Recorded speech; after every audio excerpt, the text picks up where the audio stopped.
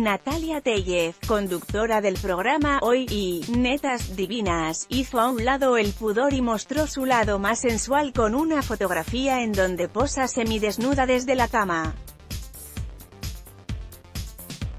De acuerdo con Tribuna, esta es la frase que escribió la conductora al pie de la foto, en 2018 me daba pena subirla pero, ya es 2019 y me sigue dando pena, en la imagen que cuenta con más de 173.000 me gusta, y cientos de comentarios, Natalia aparece recostada y apenas cubierta con una bata de baño. Cabe mencionar que la primera imagen sugerente que comparte la conductora